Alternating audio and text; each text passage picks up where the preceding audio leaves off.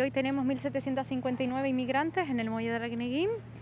a la expectativa de que sigan saliendo, pero saber en qué recursos los van a llevar a cabo. Barranco Seco no tiene capacidad suficiente para seguir abordando eh, las salidas eh, del muelle de Arguineguín por la sencilla razón que faltan camas y faltan, bueno, casetas de campaña, etcétera, etcétera. Entonces, bueno, nuevamente eh, necesitamos que pongan a disposición las instalaciones militares, pero a eso se le une ahora que toda la logística de un campamento para esas instalaciones militares en cualquier parte de Canarias tiene que venir de la península. Entonces, bueno, ya estamos hablando a lo mejor de unas cuantas semanas más de dilación para poder desmontar este, este muelle de Arguinín, porque no creo que haya más hoteles suficientes para albergar los que están ahora más los que van a seguir llegando. Entonces, bueno, esta es la situación a día de hoy, en este momento, a esta hora, en el muelle de Arguineguín. La situación migratoria que hubo en, Canarias en aquel entonces, la disponibilidad de instalaciones militares, incluso de los terrenos militares donde se levantaban campamentos militares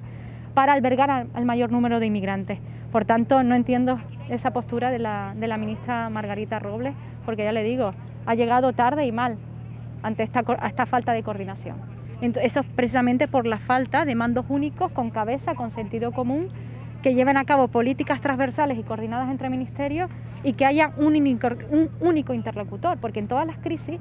en todas las crisis del mundo siempre hay alguien que abandera, que está en la locomotora y el resto se une, que son los vagones. A día de hoy no sabemos quién es el sabemos quién es el mando único, pero a los resultados nos remitimos que no está funcionando y bueno, cada ministro dice y se le ocurre y toma acciones que las hemos visto tanto el otro día, el martes por la tarde aquí, como ayer en Tenerife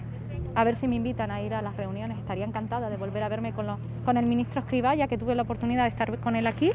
Se quedó asombrado porque justamente cuando visitó el muelle de Arguinín llegó una salvamar repleta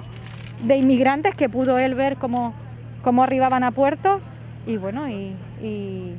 y espero que venga con una maleta cargada de soluciones, pero creo que tampoco es la persona precisamente para dar todas las soluciones cuando él mismo ha afirmado numerosísimas veces que hay una falta de coordinación entre ministerios, pero si bien es cierto que es de los que apuesta por eh, derivar a la península. Es el único que apuesta por derivar a la península.